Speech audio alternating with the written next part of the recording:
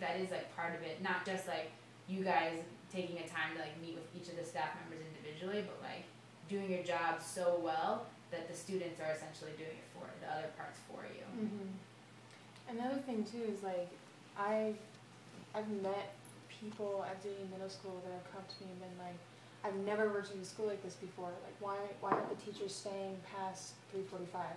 They're like, why aren't the teachers getting together on Fridays and like making potluck dinners and like playing Mhm. volleyball and like he's like there's no bonding between Mhm. teachers here and like this is really bothering me.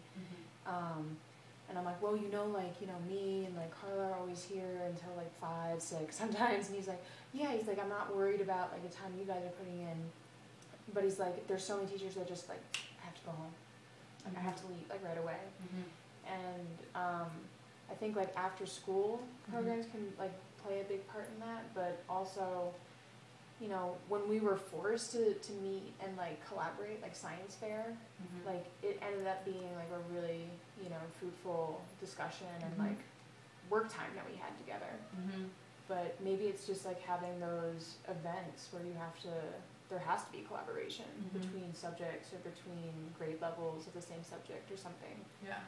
because i don't know that that worked really well for us last year is Mhm. just having that one thing to that one goal that short-term goal to like Mm-hmm. you know